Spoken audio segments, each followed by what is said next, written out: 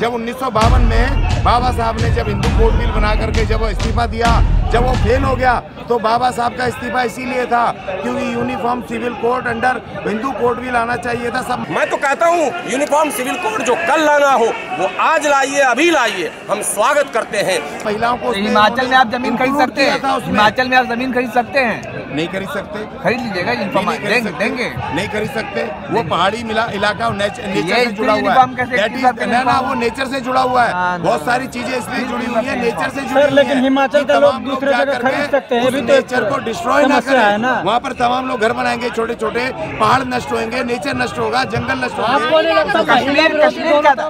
फिर कश्मीर तो क्या वहाँ पर भी नहीं है। कश्मीर भी पहाड़ है ना? लेकिन अब हुआ है। हुआ ना? हुआ ना? हुआ ना कश्मीर अब हुआ है। लेकिन केवल शादी ब्याह एक जैसा क्यों? खान पान क्यों नहीं एक जैसा? शिक्षा एक जैसा क्यों नहीं? स्वास्थ्य एक जैसा क्यों नहीं? पहनावा ओढ़ावा एक जैसा क्यों नहीं? कोई जहाज़ से चले, कोई एसी से चले, कोई राजधानी से चले, कोई दुरंतों से चले, कोई बुलेट से चले, और कोई जो है लोकल ट्रेन में, लोकल बोगी में ठूस ठूस के बाथरूम में घुस घुस के यात्रा करे, ये कैसे असमा असमानता इसको कैसे पाटिएगा आप? पहले इसको पाटिए आप। ये सवाल है पहला क्या उनको खतरा क्यों नज़र आ रहा है इससे? मुस्लिम क्यों नहीं इसमें आना चाहिए। हो रहे हैं? देखिए हाँ। देखिए मुझे समझ नहीं आता मैं मुस्लिम भाइयों से हमेशा से कहता हूँ कि भाई आप इस रिलीजियस चक्कर में ना पड़ के आप आप भारत के नागरिकों भारत की सरकारों से बोलो आप इस चक्कर में मत पड़ो अभी पार्लियामेंट चल रही है मेमोरेंडम दो कि भैया 20 प्रतिशत हमारी आबादी है भारत की फौज में 20 प्रतिशत हमें सैनिक चाहिए हमारे हमें इस देश के जो जितने अर्धसैनिक बल हैं 20 प्रतिशत हमारी वहाँ पे भागीदारी सुनिश्चित करो। आप आर्थिक विषमता पर बात क्यों नहीं करते?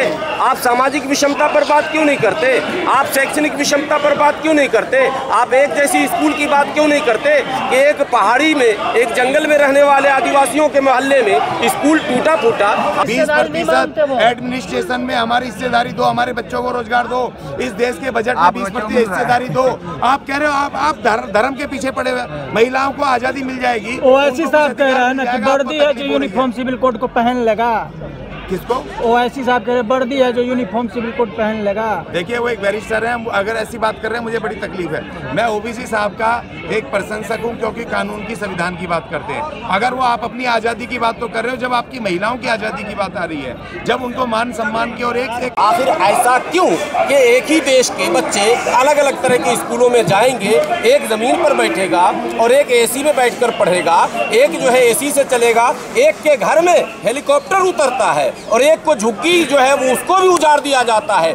ये बताओ कि क्या वाकई मुसलमानों की चार चार शादियाँ हैं क्या? पूरे देश में जितनी भी आबादी है उसमें दो परसेंट भी ऐसी फैमिली नहीं मिलेगी। मुझे लगता है मेरा भी सर्वे है।